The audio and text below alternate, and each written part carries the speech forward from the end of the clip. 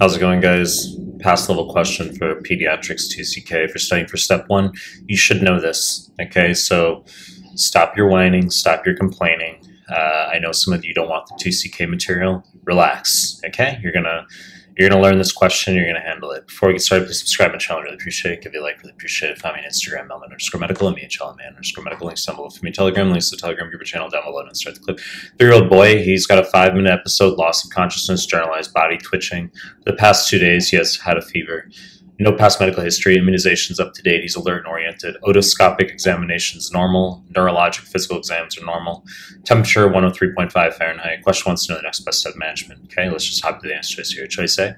Audiometry, wrong fucking answer. Audiometry will be correct on pediatrics for 2CK if you have a kid who is not paying attention in class, who has history of meningitis. Okay, so you need to know meningitis history can lead to neurosensory hearing loss, and you're going to do air conduction audiometry for that. Okay, don't confuse that with tympanometry. Holy shit, tympanometry is a pressure study for the mobility of the tympanic membrane.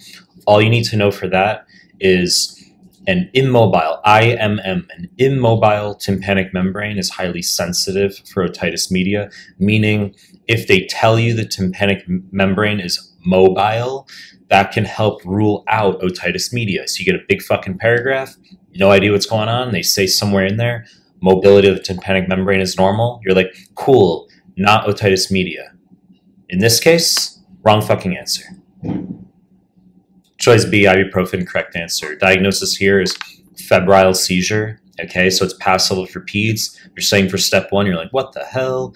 Okay, well, there's something called febrile seizure, which is a very small percentage of kids can get an isolated one-off idiopathic seizure in the setting of typically just a viral infection where, holy shit, the kid has a fever. Okay, now if you're forced to if you're forced to answer this question based on like a, a biopsychosocial uh, type uh, question, and they say, is there increased risk of epilepsy? Is there not increased risk of epilepsy? The answer is there's a small increased risk of epilepsy. Okay, it's not uh, normal uh, in relation to the general population. There is a slight increased risk. For pediatrics for 2CK, the risk is even higher if there are focal neurologic signs, if the seizure lasts longer than 10 minutes, and if there's a recurrence of the seizure within 24 hours. So, ibuprofen, some students say, but wait, I thought you're not allowed to give NSAIDs to kids.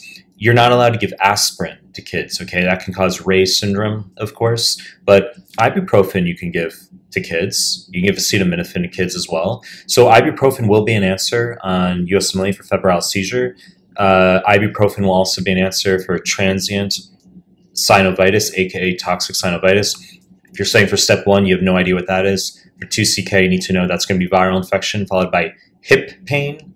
Holy shit. Okay, it's not septic arthritis. It's just, for whatever reason, uh, viral infection can precipitate uh, transient inflammation of the hip. Okay, it's called toxic or transient synovitis. You can also give ibuprofen for that. So, real quick, hopping through the other answer choices. Uh, choice C, meta-iodo scan, wrong fucking answer. Some obscure scan, never seen as correct. It's uh, technically a way to diagnose neuroblastoma in, in pediatrics as well as pheochromocytoma in adults. Nonsense answer choice, wrong fucking answer. Choice D, urinary HVA and VMA, wrong fucking answer. Okay, this is the next best step in management for neuroblastoma. So neuroblastoma, it's N-myc gene. It's going to be an abdominal, usually, uh, tumor in pediatrics where it will fall in the median, the midline, the median sympathetic chain. It's essentially the pediatric version of pheochromocytoma.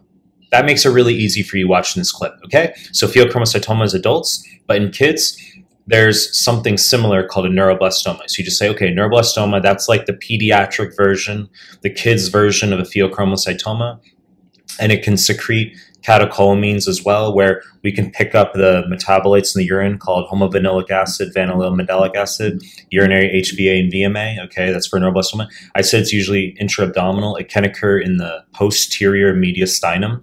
I know that sounds really weird, but it's asked on one of the pediatrics forms. And it can also cause dancing eyes Okay, so opsoclonus myoclonus syndrome, they can tell you there's weird eye movements. And they can also tell you violaceous eyelids, which sounds very fucking weird. I agree with you on that one. It almost sounds like the heliotrope rash in dermatomyositis, but you can get violaceous eyelids and you can get opsoclonus myoclonus dancing eyes uh, with neuroblastoma. In this case, wrong fucking answer. Choice C urinary metanephrine's wrong fucking answer refers to pheochromocytoma investigation. So I just harped on pediatrics neuroblastoma, adults pheochromocytoma. So they'll give you easy uh, vignette of paroxysmal headache, palpitations. Okay, you need to know if you have pheochromocytoma, it's paroxysmal, comes and goes, the high blood pressure. So they can tell you that blood pressure is 120 over 80. Students like, well, it can't be pheo. Of course it can be pheo. Okay, so it's not going to be all the time. Patient has a stressor, goes home, blood pressure shoots up to 20 over 120. Okay, so they want you to know that it's adrenal medullary.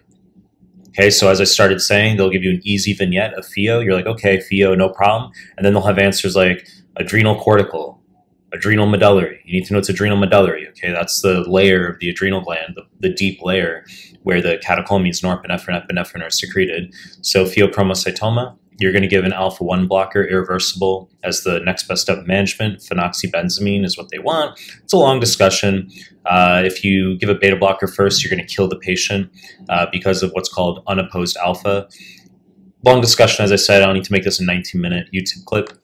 But the point is, urinary metanephrines are uh, what we check for in the urine for pheochromocytoma. In this case, wrong fucking answer.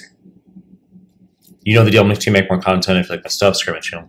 Appreciate your time. That's it.